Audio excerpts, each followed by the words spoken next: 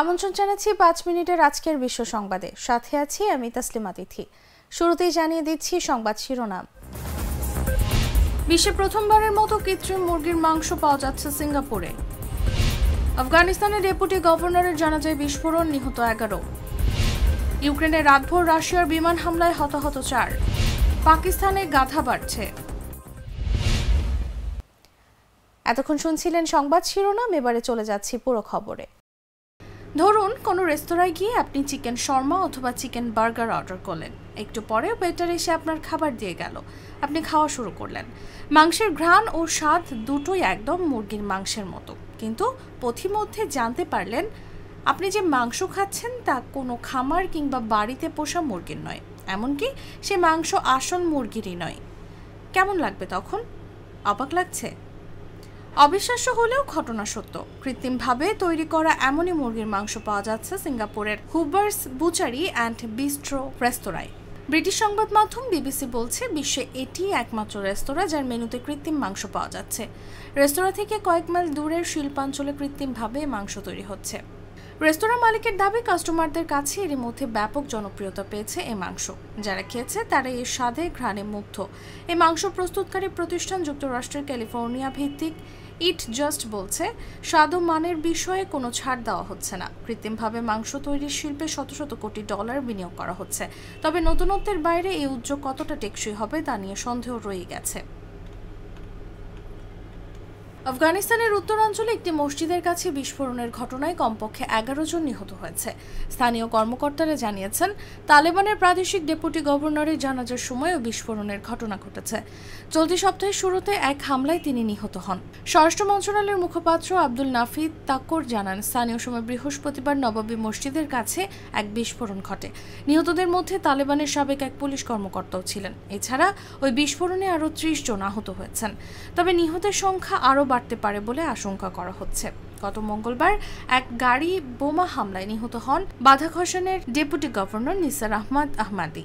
ওই হামলায় নিসার আহমদের গাড়ি চালকও নিহত হয় এবং আহত হয় আরও দশজন এদিকে বৃহস্পতিবার তার জানাজার সময় ভয়াবহ বিস্ফোরণ ঘটে। তালেবান তথ্য সংস্কৃতি বিষয়ক প্রধান মোয়াজুদ্দিন বলেন, বৃহস্পতিবারের বিস্ফোরণে বাগলানের সাবেক পুলিশ প্রধান শাফিউল্লাহ শামীম নিহত হয়েছেন। আফগানিস্তানের সাবেক প্রেসিডেন্ট হামিদ কারজাই ওই হামলার নিন্দা জানিয়েছেন। এক টুইট বার্তায় তিনি মসজিদে বোমা হামলার ঘটনাকে সন্ত্রাসী কর্মকাণ্ড এবং মানুষ ও ইসলামিক নীতি বিরোধী কর্মকাণ্ড বলে উল্লেখ করেন। ইউক্রেনে রাতভর বিমান হামলা চালিয়েছে রাশিয়াতে এখন পর্যন্ত একজন নিহত হয়েছে বলে খবর পাওয়া গেছে। দেশটির স্বরাষ্ট্র মন্ত্রণালয়ের পক্ষ থেকে জানানো হয়েছে, রুশ হামলায় একজন নিহত এবং আরও তিনজন আহত হয়েছে। হামলা চারটি ভবন ক্ষতিগ্রস্ত হয়েছে। ইউক্রেনের সেনাবাহিনী জানিয়েছে তারা রাশিয়ার চারটি ক্রুজ ক্ষেপণাস্ত্র এবং দশটি ড্রোন ভূপাতিত করেছে। এক বিবৃতিতে ইউক্রেনের বিমান বাহিনী জানিয়েছে, রুশ বাহিনী ষোলোটি ড্রোন এবং ছয়টি ক্রুজ ক্ষেপণাস্ত্র দিয়ে হামলা চালিয়েছে। এদিকে ইউক্রেনের নোভা কাকোভকা বাধ্য সে ভয়াবহ বন্যা পরিস্থিতি তৈরি হয়েছে। বন্যা কবলিত এলাকায় মরদেহ ভাসতে দেখা যাচ্ছে বলে জানিয়েছেন দেশটির প্রেসিডেন্ট ভলোদিমির জেলেন্সকি। স্থানীয় সময় মঙ্গলবার সোভিয়েত আমলের গুরুত্বপূর্ণ বাদটি ঘুরিয়ে দেওয়া হয়। এর ফলে দিনীপ্র নদীর পানি বেড়ে আশপাশে বন্যা পরিস্থিতি তৈরি হয়। এতে হাজার হাজার ঘরবাড়ি পানিতে তলিয়ে গেছে।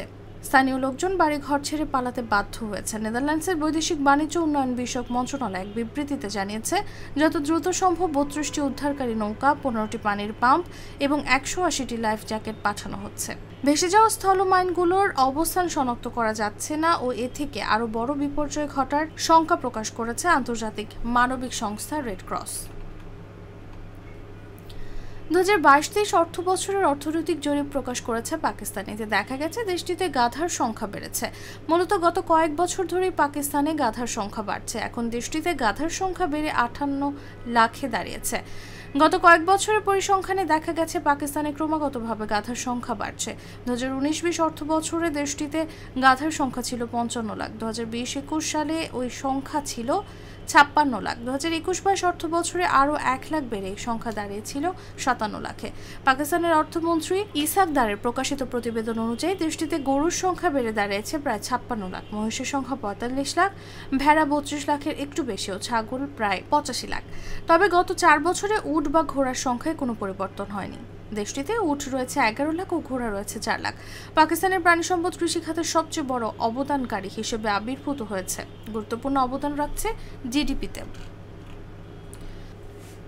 মিশরের লোহিত সাগরের রিসোর্ট শহর হুরগাদা উপকূলে হাঙরের আক্রমণে এক রুশ নাগরিক মারা গেছেন। দেশটির কর্মকর্তারা এই তথ্য নিশ্চিত করেছেন। মিশরের পরিবেশ মন্ত্রণালয় জানিয়েছে, বৃহস্পতিবার হুরগাদার কাছে টাইগার হাঙরের আক্রমণে ওই ব্যক্তির মৃত্যু হয়েছে।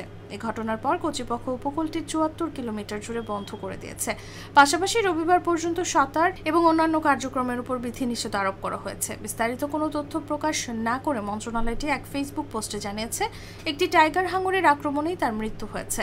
সামাজিক যোগাযোগ মাধ্যমে ছড়িয়ে পড়া একটি ভিডিওতে দেখা গেছে, বারবার আক্রমণের পর ওই ব্যক্তিকে পানির নিচে টেনে নিয়ে যায় হাঙরটি। মন্ত্রণালয়টি পরে জানিয়েছে, তারা হাঙরটিকে ধরেছে ও বিরল আক্রমণের কারণ জানতে পরীক্ষা নিরীক্ষা করছে। দর্শক, এই ছিল এখনকার মতো। ধন্যবাদ এতক্ষণ সাথে থাকার জন্য।